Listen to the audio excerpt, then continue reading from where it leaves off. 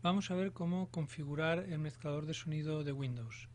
En primer lugar, para abrir el mezclador de sonido, podemos acceder a través del icono que aparece en la bandeja del sistema en la barra de tareas. Como vemos en la parte derecha de la barra de tareas, pulsando con el botón derecho sobre el icono del altavoz, pulsamos en abrir controles de volumen y este es el mezclador de sonido de Windows. Otra manera de abrirlo es en inicio, todos los programas, accesorios y en entretenimiento también tenemos acceso a control de volumen que como vemos nos abre también el mezclador de sonido de Windows.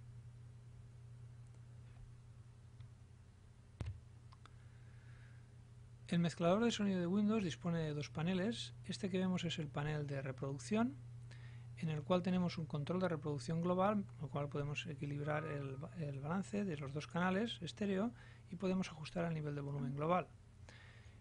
Después tenemos las diferentes fuentes de sonido, eh, las fuentes eh, que se producen desde archivos WAV, por ejemplo, que estamos reproduciendo en un momento dado, desde un reproductor de CD, el micrófono, una entrada de línea que puede estar conectado a un dispositivo um, externo y también podemos eh, obtener una fuente de sonido desde un sintetizador. Todas estas fuentes se pueden activar simultáneamente. Por ejemplo, si en un momento dado queremos silenciar eh, la fuente de sonido WAV, marcamos una casilla y todas estas casillas que estén marcadas indica que esas fuentes no generarán sonido. Así pues, con esto controlamos eh, qué fuentes de sonido en un momento dado se mezclan para la reproducción.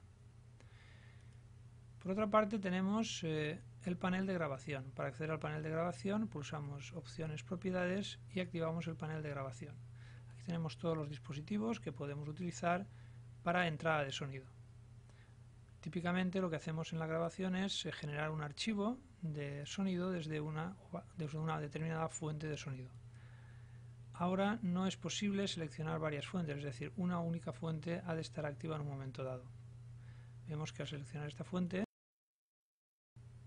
desaparece la marca de la fuente anterior.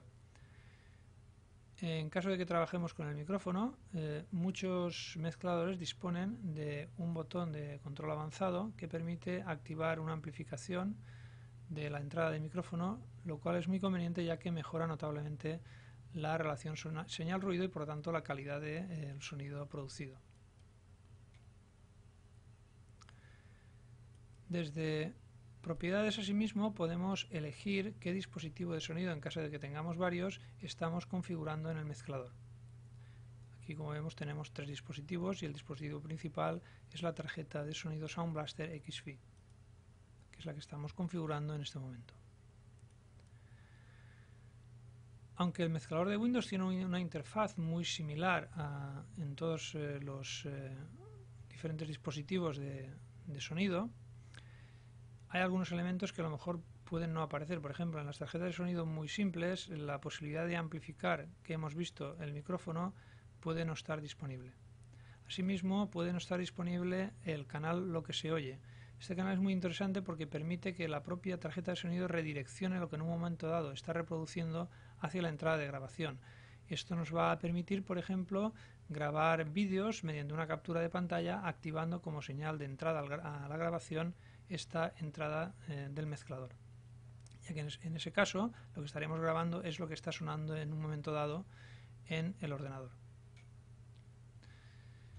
Los mezcladores pueden tener eh, un aspecto eh, propio porque los fabricantes de tarjetas de sonido suelen proporcionar un software que mm, nos permite manejar el, mezclador de una forma más sofisticada que la que nos permite el mezclador de Windows. Por ejemplo, en el caso de la tarjeta que estamos considerando, Sound Blaster XFI,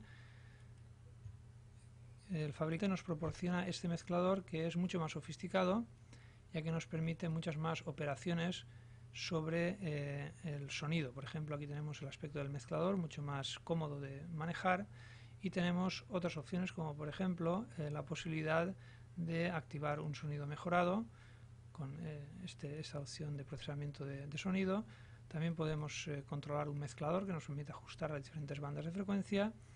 Podemos también activar un sonido 3D simulado, que resulta muy efectivo, etcétera.